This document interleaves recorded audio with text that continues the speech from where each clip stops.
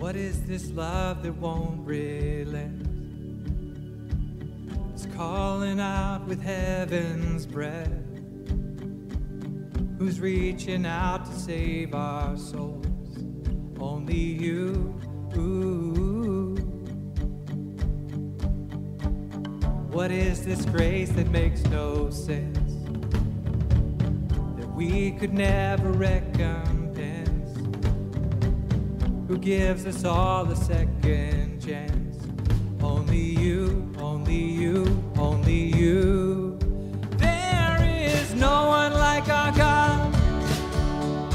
There is no one like our God. There is no other God who can save. There is no one like our God. Who hung the stars upon the. Showed the sun how bright to shine. Who shaped the world within his hands. Only you. Oh, who set the sky upon the hills and told the waters to be still? Who spoke to form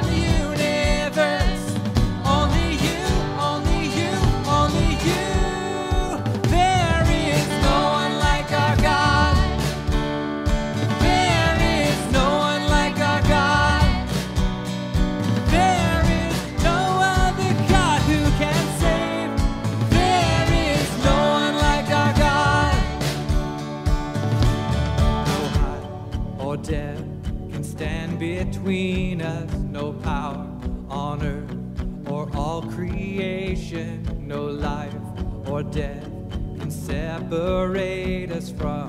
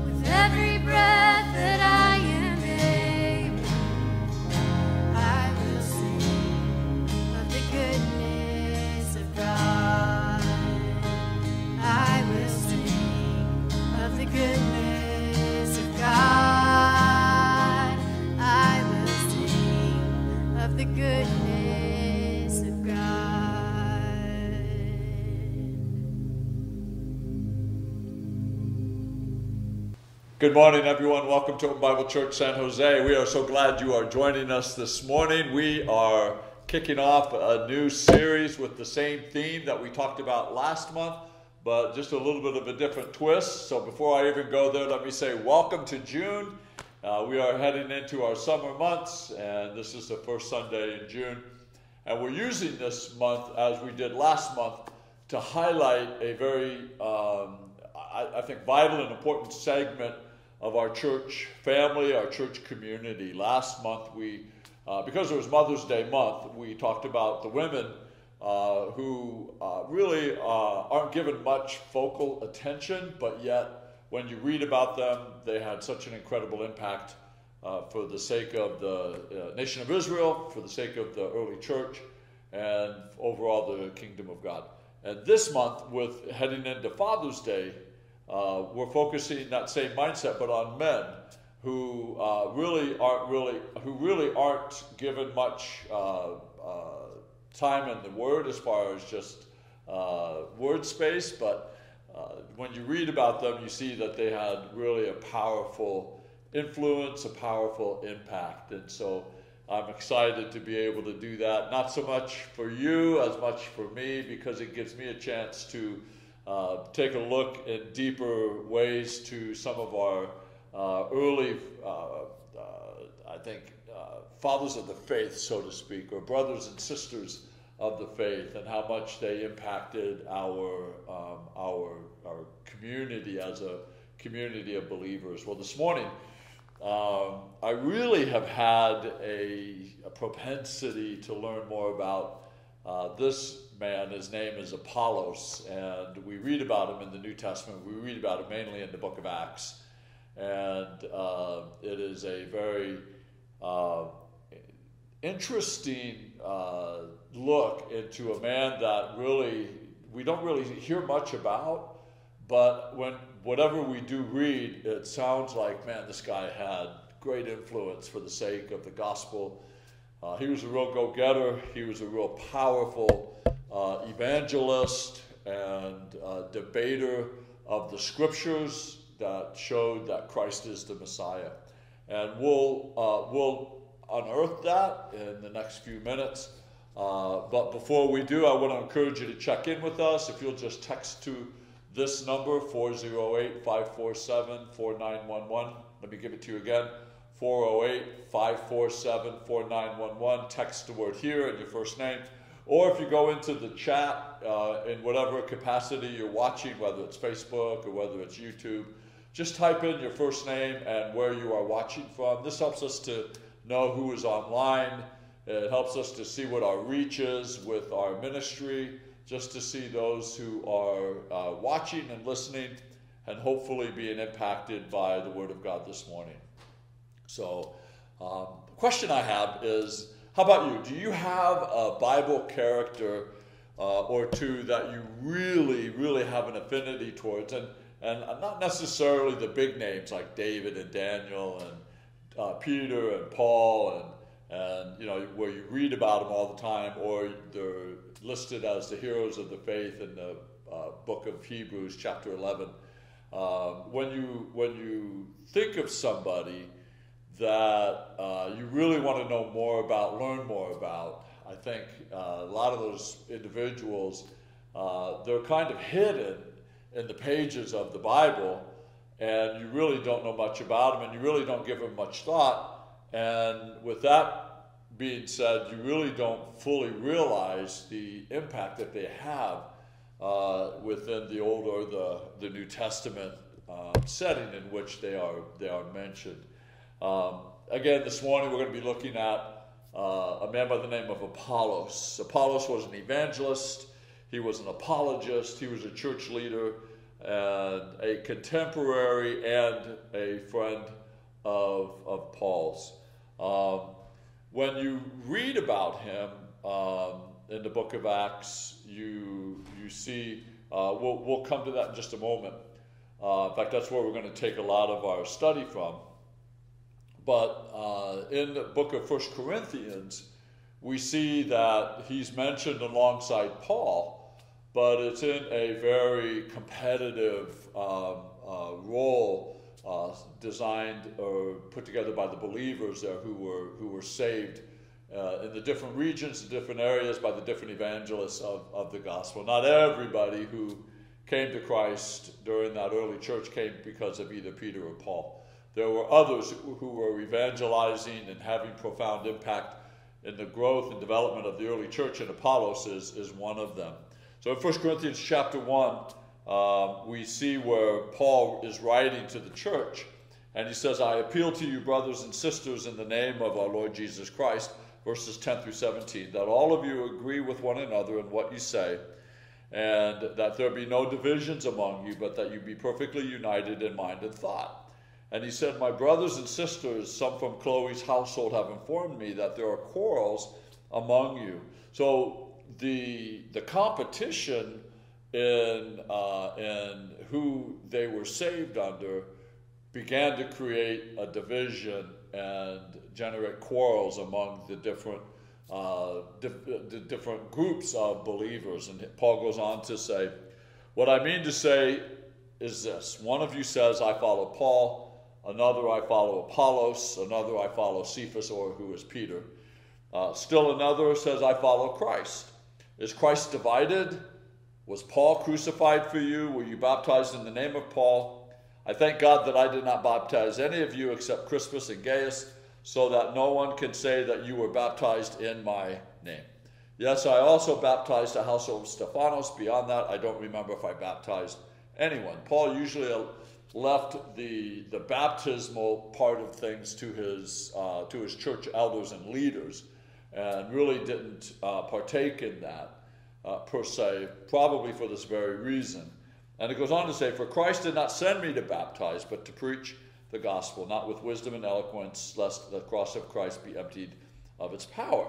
So that was in 1 Corinthians chapter 1. A couple of chapters later, Paul addresses it again because it is becoming a major issue in the church.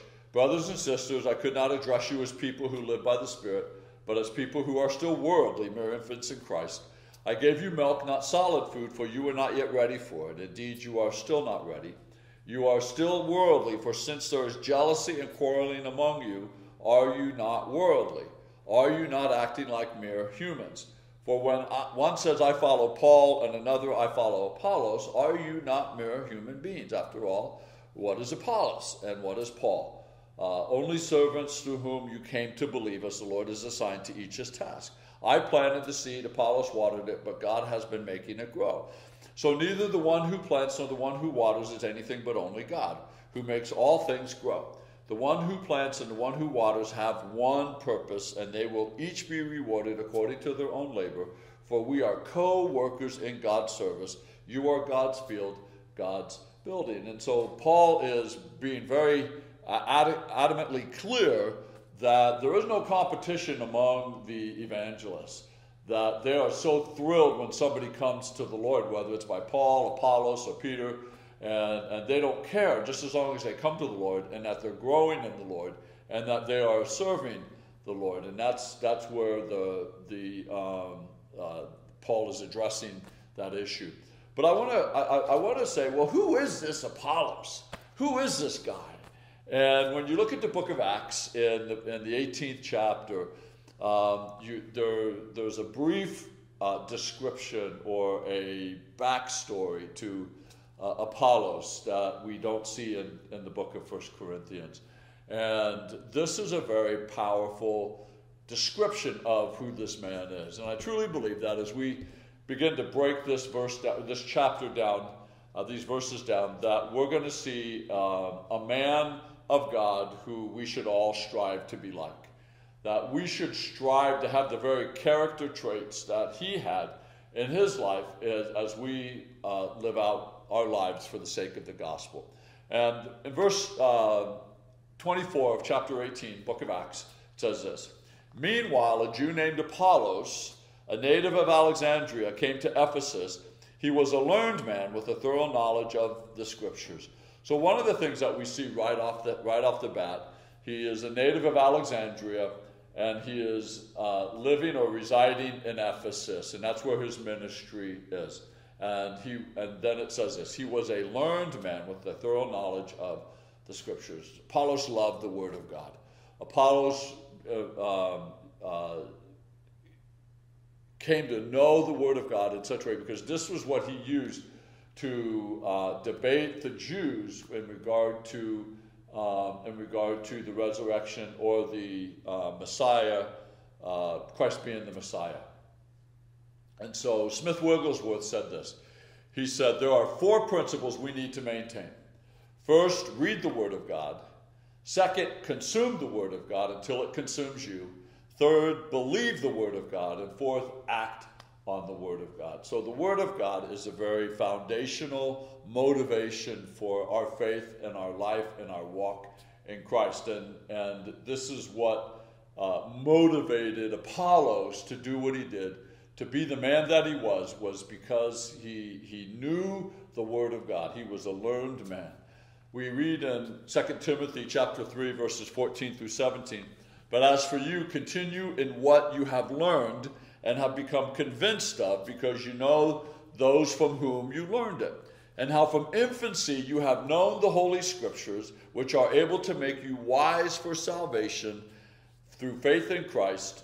All Scripture is God breathed and is useful for teaching, rebuking, correcting, and training in righteousness, so that the man of God, the servant of God, may be thoroughly equipped for every good work. So, so uh, Paul is writing in Timothy how important it is that we have the Word of God uh, active in our in our lives, and because of that, um, Apollos was absolutely a force to be reckoned with because of his knowledge in the Word of God, and that's how he navigated the the different places that he lived in reaching the lost was through the power of the Word of God.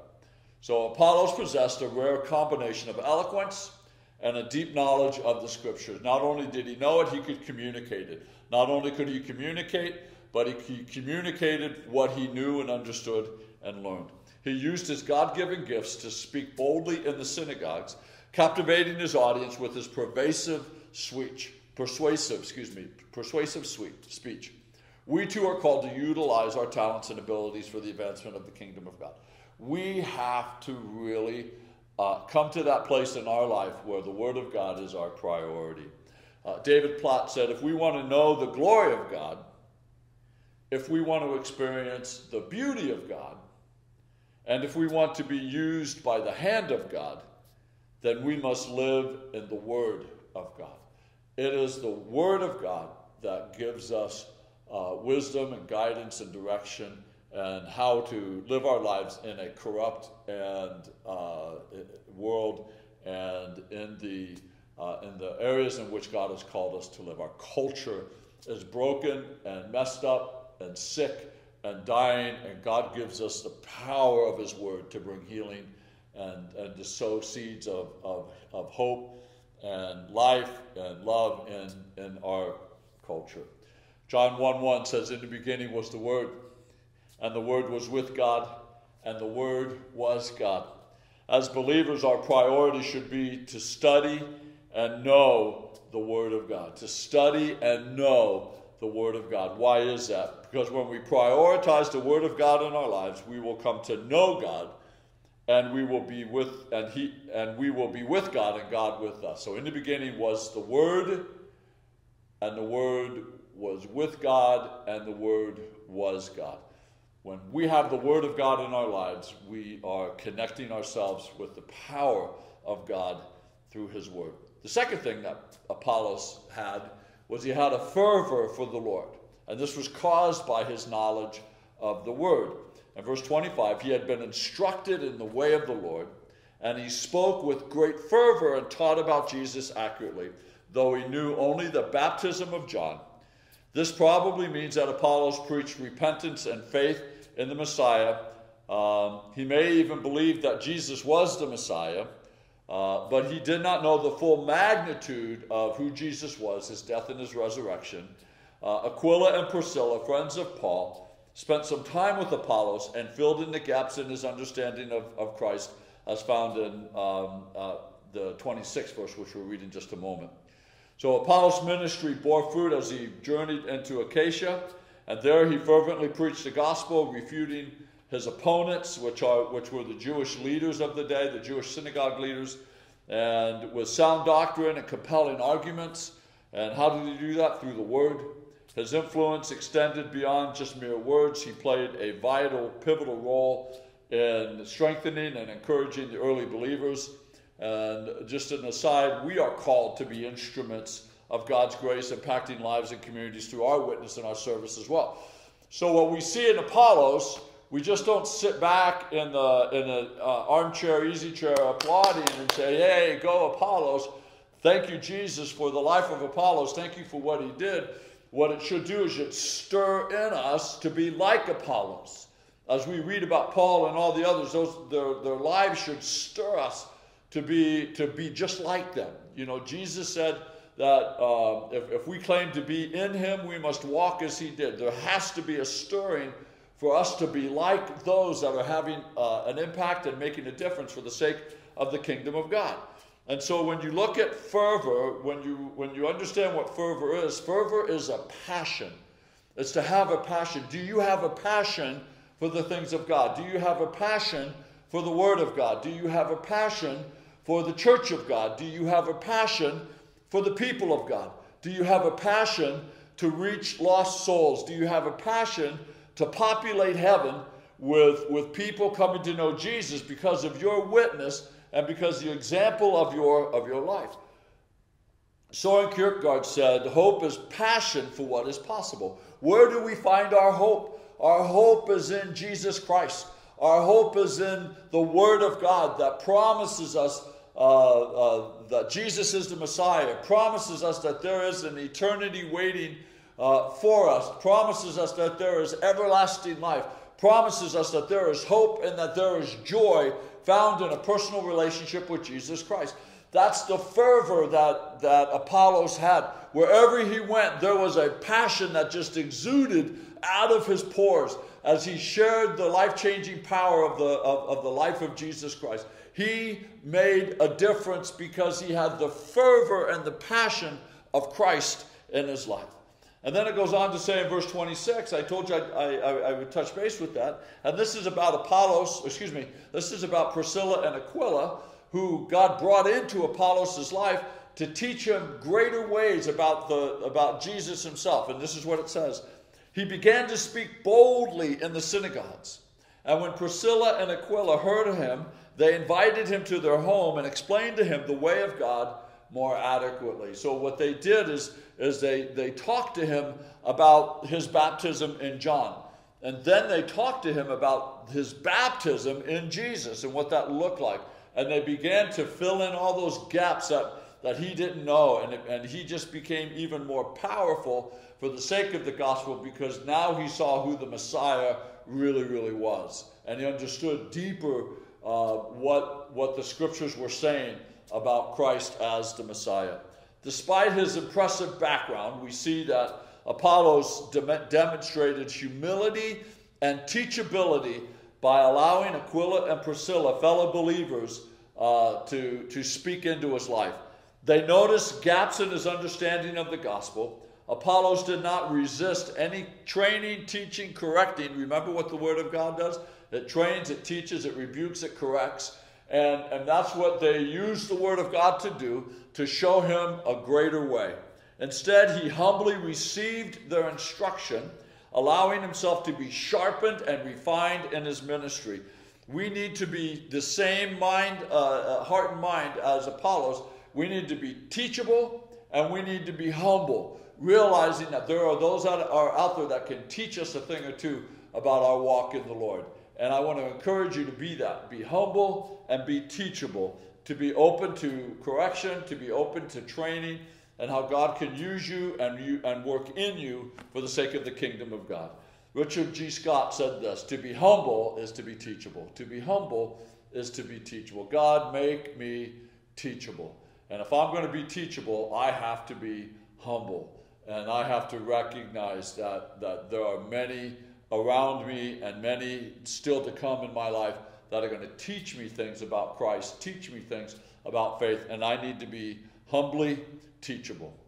And then, and then in verse 27, we read that Apollos humbly helped the other believers. So it wasn't all about Apollos. You know, I've, I've seen guys uh, who had big names and big ministries, and, and they, they didn't have time for anybody else. They had uh, this holier than thou attitude. They were separated from, from the masses, so to speak, because they had a message and they had a word and, and they had a ministry, and, and, and nobody could even get close to them uh, because they, they didn't want to bother or be bothered.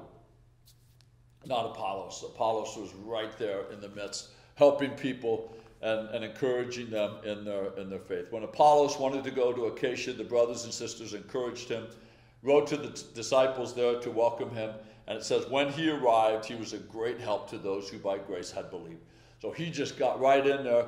And what Priscilla and Aquila did for him and teaching and training him, he in turn did to others. He began to teach and to train and to raise up leaders and, uh, and to send people out for the sake of the kingdom of God he saw that the only way that he could have any impact was not to be the one bringing the message, not to be the one leading the, the uh, services, but to raise other people up and, and to send them out so that the uh, reach was, was even more magnified as, as he sent more and more people out for the sake of the kingdom of God. Hebrews chapter 13, verse 16 says, And do not forget to do good and to share with others for with such sacrifices, God, excuse me, God is pleased.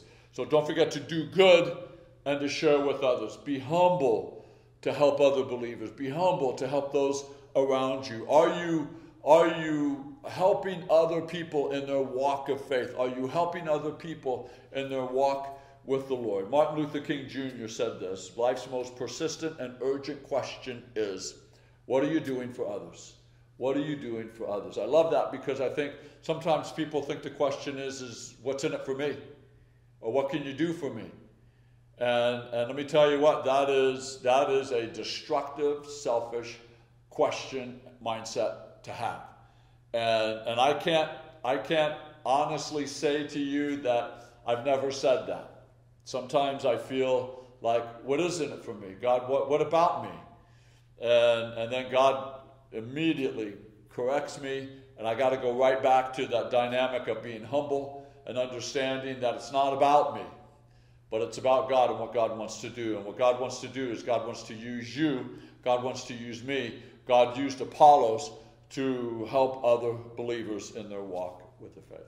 And the last thing I want to share, and probably the, one of the more important things in my mind for me personally, so however you take this is up to you, but for me personally, it deals with um, it deals with having the fire of the Holy Spirit in your life. That's that that's that fervor, that's that passion, that's that motivation, that's that drive, that's that sense of purpose, sense of calling that we have in our lives is to is to walk in the power of the Holy Spirit. And it goes back to um, him talking about Jesus' baptism, and I'll go over that in just a minute. But the dynamic of this, for he vigorously refuted his Jewish opponents in public debate, proving from the scriptures that Jesus was the Messiah. He vigorously refuted, passionately. He was, there was a, something that burned inside of him that, that he just couldn't contain and couldn't control. And it reminds me of Jeremiah, the prophet, in the book of Jeremiah, in chapter 20, Jeremiah is bringing the word of God of uh, repentance and judgment to the nation of Israel, and they're rebuking him, they're mocking him, they're you know they're torturing him. They they they didn't want to hear what he had to say, but he he he didn't stop. But then in chapter 20, he has a conversation with God, and he's recognizing God, what's the use? Why do I have to keep torturing myself? Why do I have to keep putting myself in this place when, when they're not listening? They don't care. They hate me. They hate you. So let's just let them go to hell. Let's just let them die in their sin. Let's just let them be destroyed by the, uh, by the captors. And, and then we can just wash our hands of them. And, and um, he said this Jeremiah in chapter 20, verses 8 9. He said, Whenever I speak, I cry out proclaiming violence and destruction. So the word of the Lord has brought me insult and reproach all day long. They, they just abused Jeremiah because of his because of his call to uh, call to come back to God, call to repentance. Then it says, "But if I say, I will not mention His word, or speak his or speak any more in His name, his word is like a fire in my heart, a fire shut up in my bones. I am weary of holding it in. Indeed, I cannot. That is my prayer that the word of God just burns in my heart, it burns in my bones, that I cannot hold it in. And that I can do nothing but, but speak it, regardless of what the people think or how they receive it the Word of God burns in my life. And that's what Apollos, he had the Word of God burning in his life. And there was nothing that could keep him, that passion, that fervor, from, from sharing it. And that's why he made such a powerful distance, uh, difference in people's lives. That's why some of the people were looking at his life as, as a powerful evangelist and saying, Man, I want to follow that guy. Paul wasn't a fiery evangelist. In fact, Paul said, I put people to sleep. Paul said, I'm, I'm a horrible speaker. and so, so people look at Paul and look at him, and he had all the, the, the charisma and the, the, the dynamic of a powerful speaker and a leader. And uh, that's why there was a division. Ah, Paul, forget him. Man, I want to follow Apollos. There was such a powerful draw to him because of his fervor and because of his fire. And you know what? Um, I, I, was reading uh, a little bit about uh, a, a, a, uh, an old time uh, evangelist. His name was Reinhard um, uh, Bonnke, and, and he said that when he talked about the passion and the fire of the Holy Spirit, and he said this God's children were never meant to be tamed. He said, When we surrender to Jesus, we welcome the Holy Spirit to abide in us, and he is anything but tame. The Holy Spirit leads us on rescue missions in the world, fanning the flame of the fiery dove. 2,000 years ago, on the day of Pentecost, the Holy Spirit crowned each of the 120 with fire. They were never the same. We are called to partner gloriously with a God who is an all consuming fire. You are called to burn uh, with the fire of the Holy Spirit. a fire that is passionate for the things of heaven and dangerous to the things of hell. God's desire is that for, for us to know the Holy Spirit and to burn without apology and with intention. Our passion will be kindled and intensified as, as, we, as we get to know God in a deeper way. You will be fueled to stir God's passion for souls, for the impossible, and for the extraordinary. Uh, we will know Him and demonstrate His indwelling as we yield to the instruction that He gives to us through His Word. Jesus desires for people to see God in your eyes. Uh, the Holy Spirit is a person and He longs to commune, to cohabitate with us.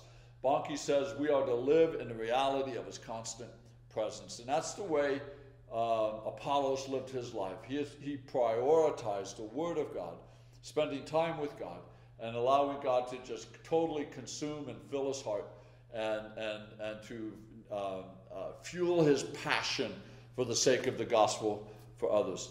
And then in verse 25, it said he spoke with great fervor and taught about Jesus accurately, though he knew only the baptism of John. Remember, I said, talked about the baptism of John. Well, in Matthew chapter 3, verse 11, uh, John said, I baptize you with water for repentance, but after me comes one who is more powerful than I, whose sandals I am not worthy to carry. He will baptize you with the Holy Spirit and fire. And so John was talking about the baptism of Jesus.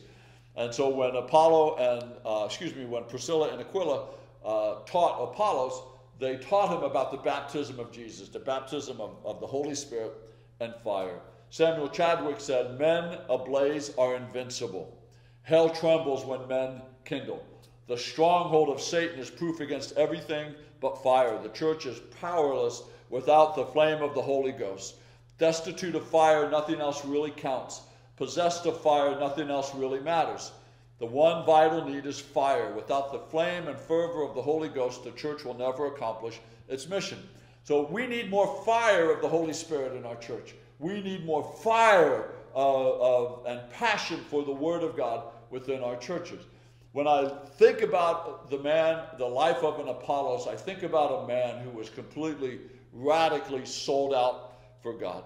Romans chapter 1, verse 16, 17, Paul wrote, For I am not ashamed of the gospel of Jesus Christ, because it is the power of God uh, that brings salvation to everyone who believes, first for the Jew, then for the Gentile. For the gospel uh, for in the gospel, the righteousness of God is revealed, the righteousness that is by faith from first to last, just as it is written, the righteous will live by faith. So that whole dynamic is, is the Word of God. Uh, I am not ashamed of the gospel of Christ. I am not ashamed of the power of the Word of God. I need the Holy Spirit's power and fire in my life. I'm going to close with this quote. Soren Kierkegaard said this this age will die not as a result of some evil, but from a lack of passion. This, this, excuse me, this age will die not because of some evil, but because of a lack of passion. We need to restore that passion for the sake of the kingdom of God back into our people. Without that passion, without that fervor, without that fire, the, the, the church will slowly dwindle out.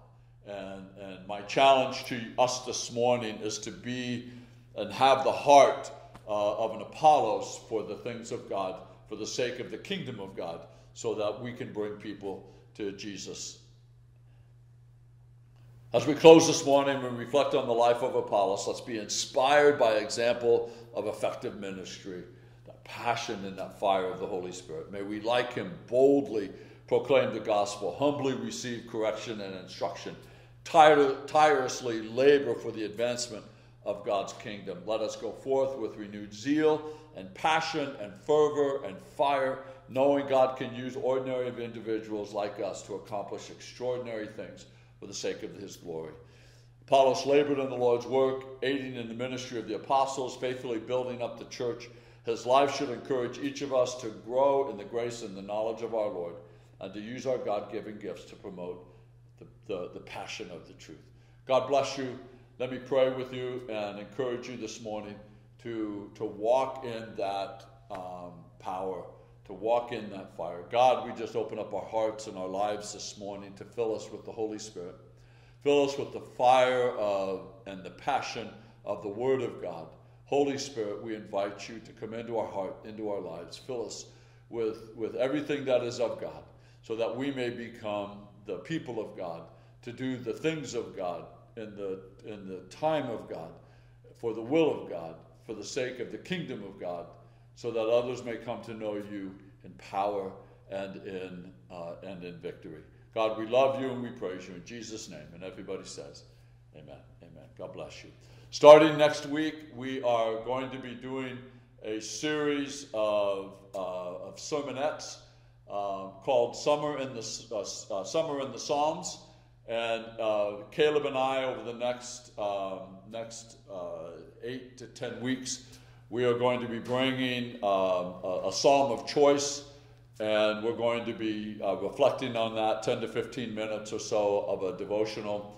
But what we're encouraging everybody to do starting on the 3rd of June, we are encouraging everybody to begin reading Psalms, two Psalms a day through uh, June 3rd to the to, towards the end of August is 75 days.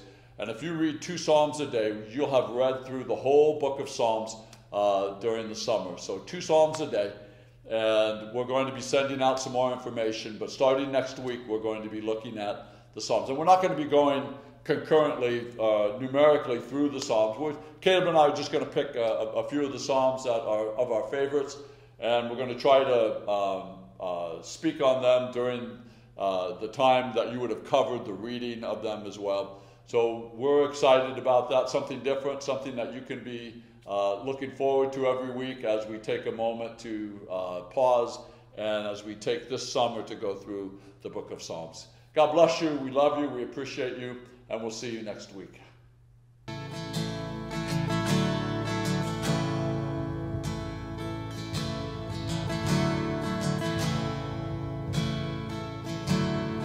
Owning my sorrow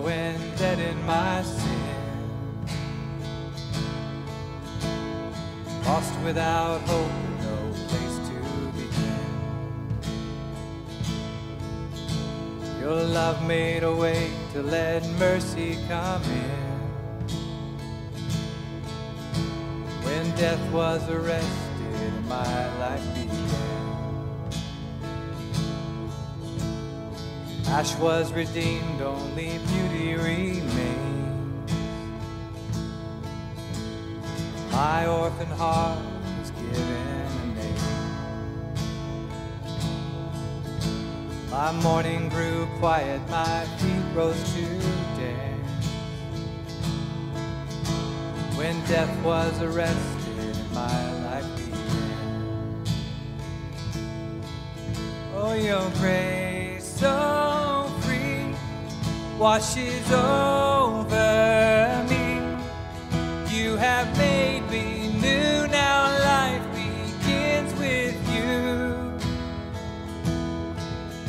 It's your endless love pouring down on us. You have made us new, now life begins with you.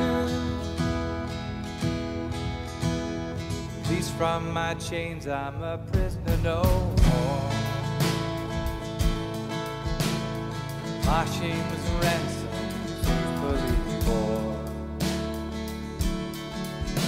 He canceled my debt and he called me his friend. When death was arrested and my life began. Oh, your grace so free washes over me. You have made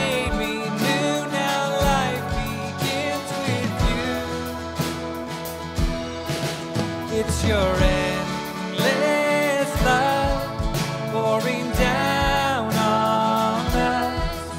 You have made us new, now life begins with you.